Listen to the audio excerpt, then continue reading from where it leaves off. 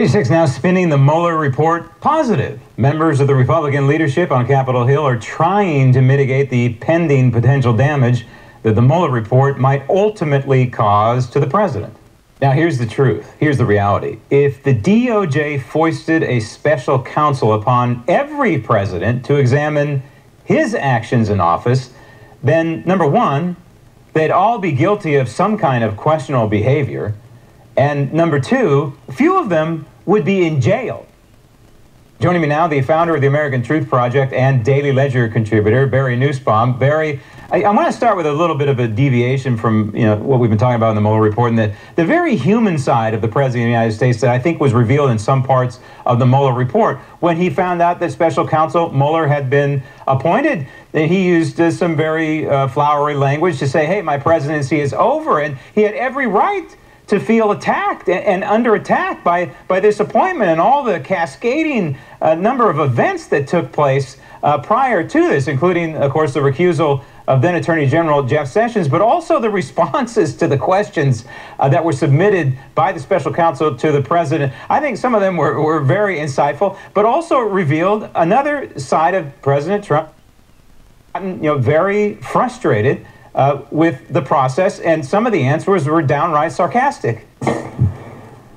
The beginning was bad, and it just got worse. He appoints an attorney general who should have told the president during his interviews if there's a question about Russia, I'm going to recuse myself. I think I might have a conflict. He never told the president that. He got the job, and just days later, he bows out understandably, the president was very frustrated. Then he, Jeff Sessions, appoints the assistant attorney general to go out and do whatever he feels is best. And what does he do? He appoints a special counsel and gives him unparalleled historical power to investigate everybody and everything without limitation under the guise of Russia collusion. So everything that happened in the investigation proved some crimes that, by the way, I don't think anybody would pass scrutiny on, but nothing to indict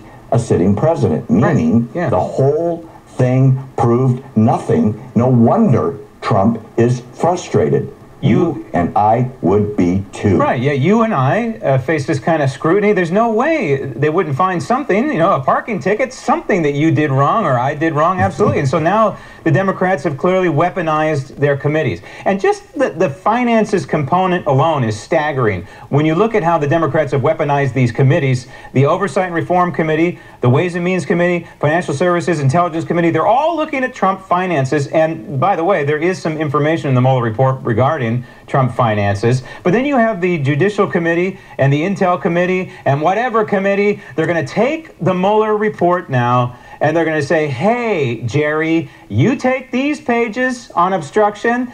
And hey, Adam, you take these pages on obstruction, and so on and so on and so on. And they're going to just shred, they're going to cherry pick, and they're going to shred the heck out of the President of the United States. And ironically, when you talk off camera, Graham, to Republican strategists, they are gleeful about this because the truth is the American people are done with this.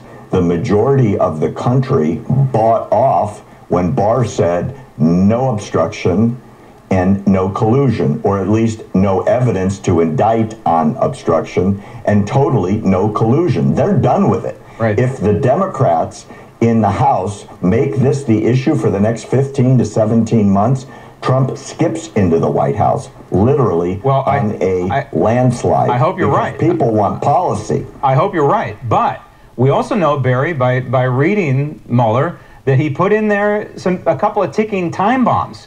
And, and one in particular that is literally urging the United States Congress to go after impeachment, a roadmap to impeachment on obstruction. And he says it plainly, in plain English, that it's essentially the duty of the United States Congress to kind of pick up where he left off. And here's where my previous comment becomes devastating to the Dems. Yeah, the House could indict.